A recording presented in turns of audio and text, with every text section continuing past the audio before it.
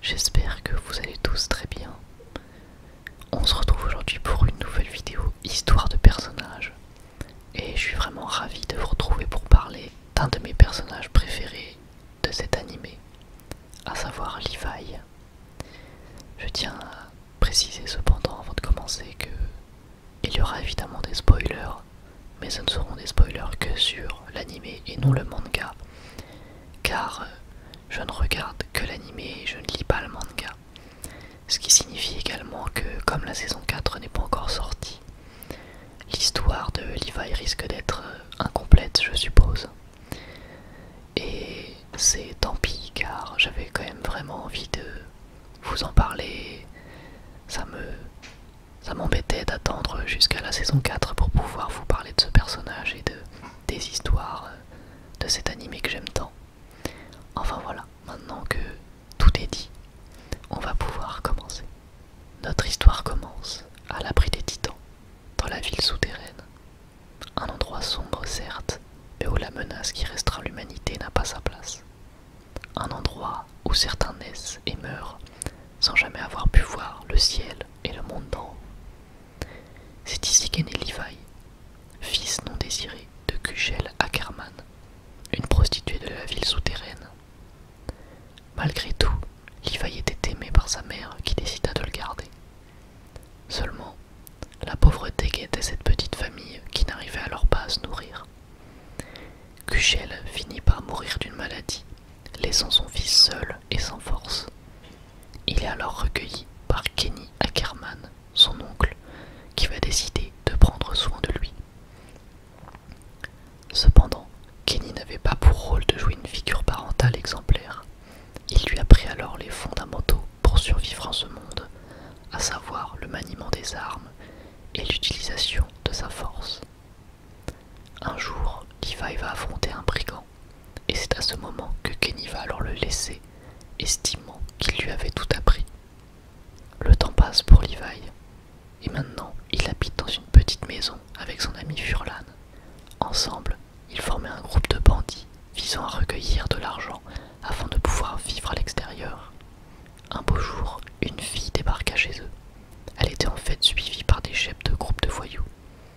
Ils finissent par se débarrasser d'eux afin de rendre service à la fille avec elle un oiseau qu'elle voulait relâcher en surface. Cette fille se nommait Isabelle, et avec le temps, elle finit par devenir amie avec Levi et Furlan. Ensemble, ils lui apprennent à maîtriser l'équipement tridimensionnel. Et un jour, un homme mystérieux va proposer à ce trio d'accomplir un travail en échange d'argent et de passeports civils permettant de se rendre à l'extérieur. En exécutant leur mission, ils se font rattraper par le d'Erwin Smith. Levi finit par déclarer forfait lorsqu'il constate que ses amis ont été capturés. C'est ainsi qu'Erwin leur proposa de rejoindre le bataillon d'exploration pour leur prêter main forte. Ainsi, Levi finit par accepter la proposition et rejoint l'armée. C'était l'opportunité parfaite pour notre trio, puisque leur mission consistait à récupérer des documents et à tuer Erwin Smith. Lors des tests sur les titans en bois, Levi se révèle être très à l'aise, bien qu'utilisant une technique très dangereuse ses lames. Puis, une exploration a lieu. C'est à ce moment-là que Levi et les autres vont décider d'enfin tuer Erwin. Cependant, Levi ne souhaite pas que ses amis soient impliqués et il décide alors de les convaincre de ne pas venir, chose qu'ils vont refuser avant de le faire sourire. Le lendemain,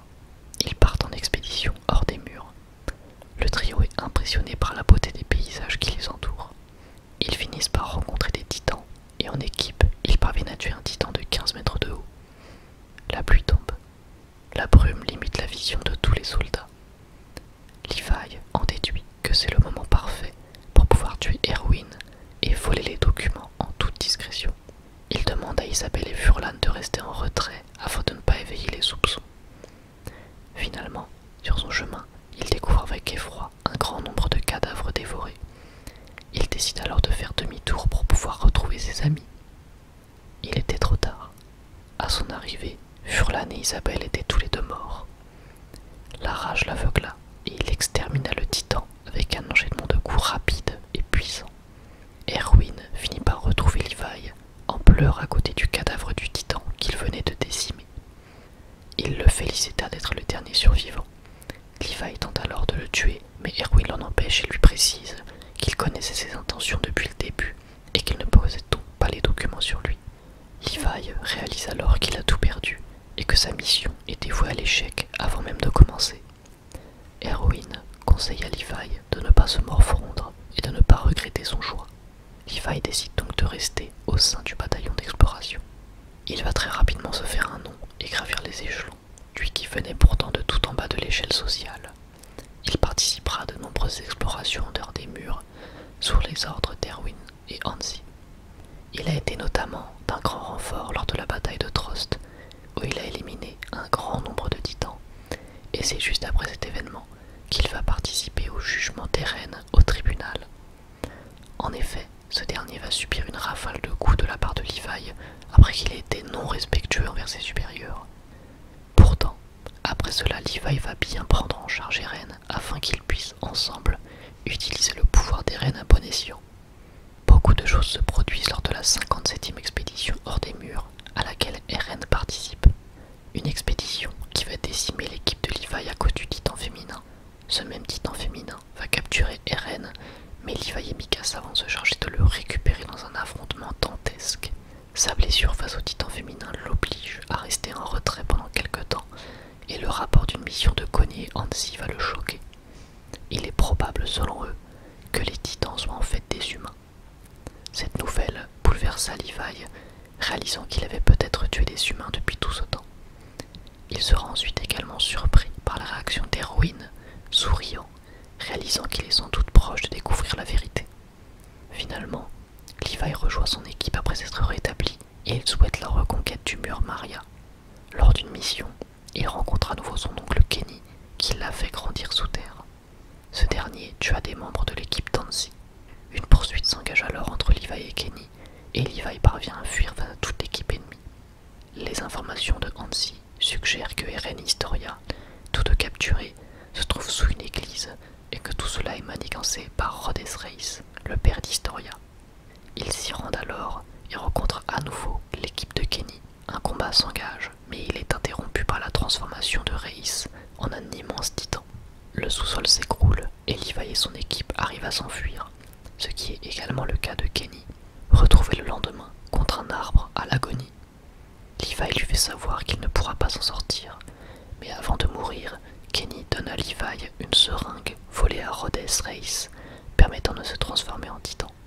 Levi lui fait remarquer qu'il aurait pu l'utiliser sur lui-même pour pouvoir survivre, mais Kenny rétorque qu'il ne l'a pas fait par peur de perdre la raison. Peu de temps après, il participe à la mission la plus importante de sa vie et la plus importante de l'humanité, la reconquête de Shiganshina.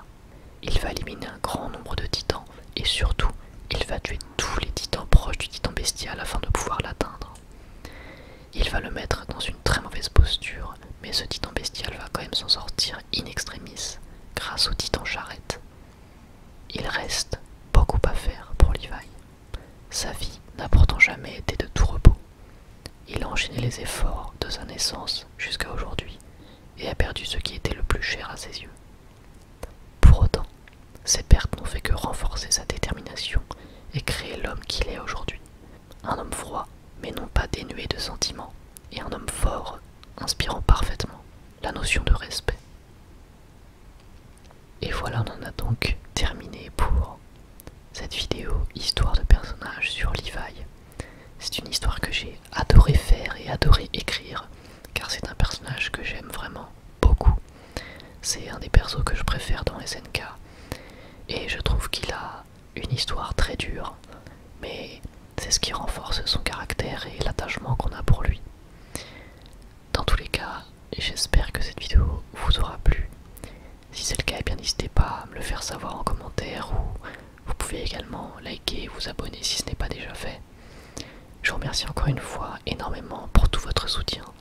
Ça me fait toujours extrêmement plaisir. Et moi j'ai plus qu'à vous dire à la prochaine. Prenez soin de vous. Bye tout le monde.